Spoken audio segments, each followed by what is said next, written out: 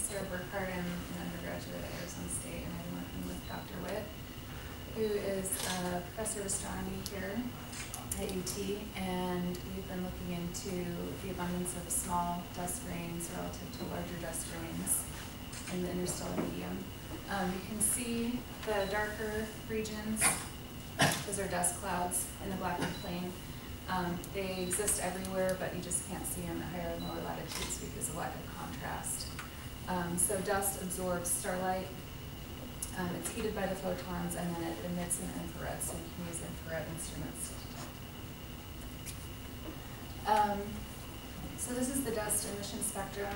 We're focusing on the um, 12 micron peak, which is emitted by the smaller dust grains, and the 100 micron peak, which is emitted by the larger colder dust grains. So um, PAH stands for polycyclic aromatic hydrocarbon, and um, polycyclic is the multiple loop structure. Um, aromatic is the strong uh, chemical carbon bond, and hydrocarbon is hydrogen and carbon atoms. And you can see the difference in the scale here between the smaller grains and the large grains, they're about a hundredth of the linear size and about six orders of magnitude smaller than the large grains. So these um, smaller these PAHs are really vulnerable in extreme environments to excitation and even destruction. So these are the dust emission maps that we used. Um, they were both taken by um, space telescopes because um, the Earth's atmosphere absorbs a lot of the infrared waves. So on the top, we have the IRAS 100 micron map. Um, IRAS went up in 83 and it was the first space telescope to do an all-sky survey. Um, and its resolution is about 4 to 6 arc minutes per pixel. And then on the bottom is the WISE um, W312 micron map, so that detects the smaller grains. And that was launched in 09. And this map was actually just processed and released this year um, by um, Meisner and Finkbeiner at Harvard, so these haven't really been studied too much yet until now. So um, the maps look similar, but we're looking for um, significant variations between them and looking into why those exist. So this cloud is MBM 30. Um, we decided to look at some high latitude clouds that were far enough away from the hot stars that they wouldn't be receiving direct UV radiation, and also clouds that aren't so dense that uh, the radiation would be blocked from the dust grains on the inside of the cloud.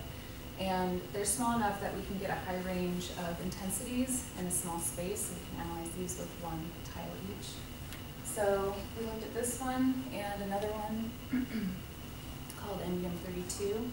And you can see the linear relationship here between the smaller grains and the large grains. The ratio is about 2.8. And so we expect this ratio with, throughout the interstellar medium as long as the um, the um, PAHs haven't been destroyed and there's no direct UV radiation. So one environment where we expect PAHs to be destroyed is inside a supernova remnant um, because of the shock wave, the high velocity shock wave and the hot gas within the remnant.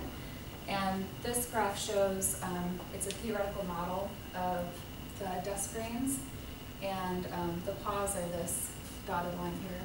So the black shows the volume before the shock wave, and the red shows after. And you can see there's no PAHs after the shock wave, so we expect all of them to be destroyed. So the first one we looked at was the North Polar Spur, and um, this is like an all-sky map, so you can see how big that feature is.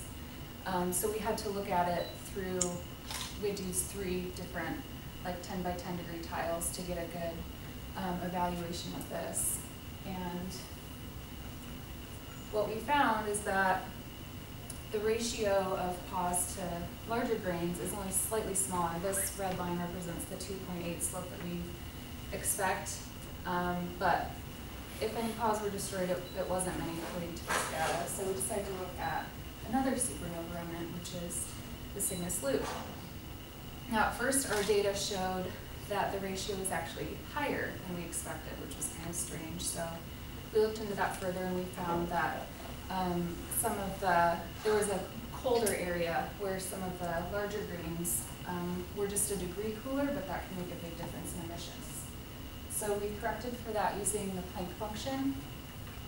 And we found that the slope is lower, but still not by much. We expected it to be, you know, zero, but it's not. So we moved on to looking at um, optically thick clouds.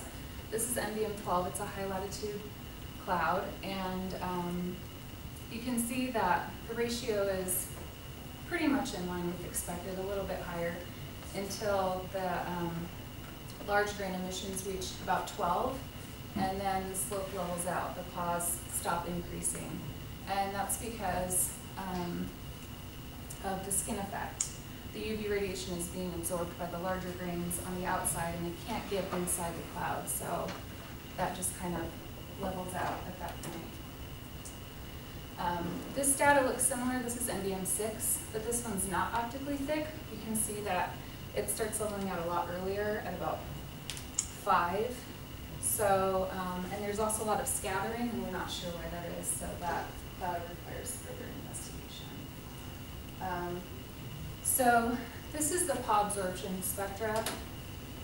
Um, you can see that the PAs prefer a small range of UV um, waves, and these are um, theoretical models, and um, at about 13.6 electron volts, the PAs are going to be destroyed. So, um, whereas the larger grains can absorb a much wider range of UV radiation.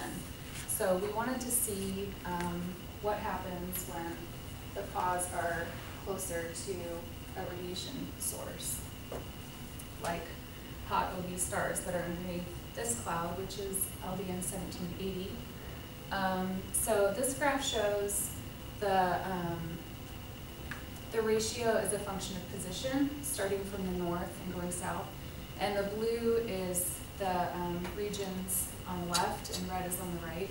And you can see um, a peak in emissions here from the PAs at the bottom of the cloud. And that's because of that radiation coming directly from the south. So we looked at another really good example of direct UV radiation. Is Pleiades, and the stars are embedded in the dust clouds. So what we did is we took regions going radially outward in regions that didn't interfere with other stars, just to see um, what the emissions did. And these are some examples of some of the most intense and brightest stars. And you can see the intensity levels are sometimes double and even triple of our expected value, and then it decreases as it goes out. So these are the um, ratios from LDN 1780 and Pleiades, and it shows that UV radiation definitely does increase the ratio of PAs to small grains. So our conclusions are that um, we didn't find any strong evidence to support PA destruction um, in supernova remnants, which was actually pretty surprising. Um, that PA emissions are lower inside of optically thick, dense clouds, and that um, PA emissions are significantly higher when they're close to a UV radiation source. And thanks to Dr. Witt and Rick and Allison for your this today.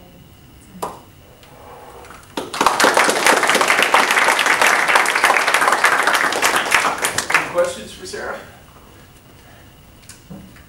Yes. So for the Pleiades, did you offer any of your objects since they, they span some space on, in the sky? Are those uh, uh, an accumulation of all the data points over the region that you had data? Um, we Like- used, It's like the Pleiades, for instance. let me go back to. So for these, this was just a sample of, um, some of the stronger ones, because I couldn't fit all the graphs on one. But these data points were taken, um, throughout the cloud to get a good sample, get a good range of what was happening all over the cloud. We went across and through and, and around the outside. So for the Pleiades, can you go to the picture for the Pleiades? Yes.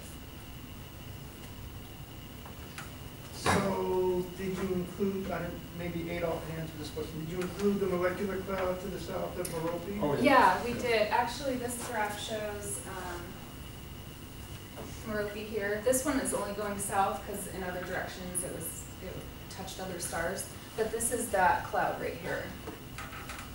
Um, so there was kind of a thicker cloud beneath it and it, it was receiving that radiation from Merope.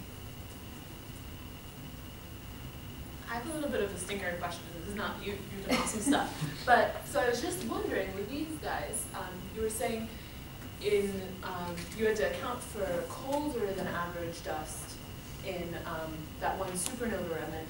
Did you look for any? Could there be any dust temperature effects close to these OB stars that need accounting for before you do the ratio of the pHs to the large grains? Um, well, the, um, the large grains. so the large grains were the ones that were mostly affected in this one as far as we could tell.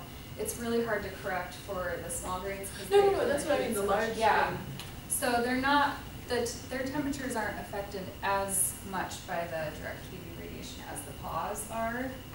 So we, we didn't really do any corrections for that. I don't know if you, Dr. Witt has anything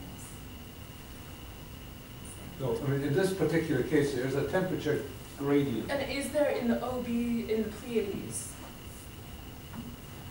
for the large grains, is there a temperature there's a- that needs to be accounted for Uh, in her plots? Yeah, I mean, we, we did, we did not. Obviously, the temperature would be higher near the stars. So, And if you were to make that correction, the deviation would be even greater because the, uh, you know, so I guess it's not a stinker question, it might even make the results stronger. Right, it would make it even stronger. Yeah. But I mean, it was already strong enough. So I wasn't able to catch, what's the difference between the red line and the blue line in all these pictures? Oh, the red is the expected, that two point eight ratio that came from the high latitude clouds that were kind of in their own environment. And then the blue, sometimes it was black for some reason, but that is the ratio on the plot, yeah. So both are actually going to appear to be present here, i.e. there's that little tail that follows the red for a little bit. Is that Um, real, or is that just, uh, Yeah, it kind of does, and we, um, we had initially scanned like pretty far on either side and on the top and on the bottom, but this particular plot was taken only with this here. And everything within here would be expected to have some kind of PAH destruction, um, because the hot gas exists everywhere inside here, so, yeah. And so a lot of these pixel by pixel plots are very linear, but some show sort of different degrees of turnovers. Mhm. Is that physically significant? Or is that just due to the instrumentation? Um, Uh, yeah, so the last one Like shows a little bit, this is a little bit more, and I think the next one's even stronger. Right, so this one, um, we're not really sure. We would have to look into that one further. This one is definitely because at this point, it gets optically thick. It's, it's too thick on the outside for these inside PAHs to be getting any radiation. That's probably why that level's out there. Yeah. Your uh, absorption graph, I think it's a couple back. Uh, I missed, where did you get the data from there? Um, this was from a paper, um, Oh, okay. Belushi et al. So there's raw data there, and then there's also the model, right? Yeah, so this was good, experimental data that they did. Yeah, it actually turned out pretty well. It's really, um, very challenging to make the ionized PAHs in the lab, so. Yeah. Yeah. they haven't done Yeah, yeah. And thirteen point six is interesting when you mentioned that Right, number. Yeah, because in, Tied um, with hydrogen there. but- in H two regions, they don't find PAHs. So ionized hydrogen, um, and PAHs don't exist in the same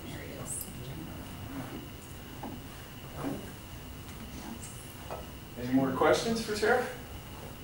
All right, thanks.